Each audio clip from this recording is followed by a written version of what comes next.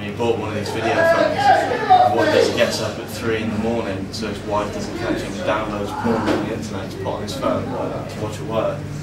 There's, yeah, there's, there's, some, yeah, there's something wrong with that, really. I mean, I've never thought No, I don't trust him at all.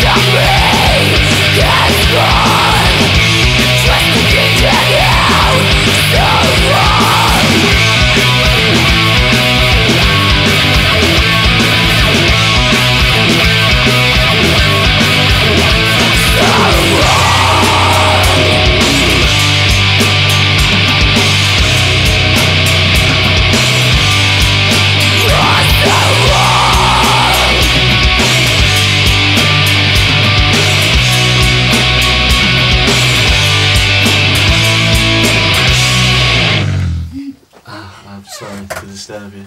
Oh no, no, it's fine.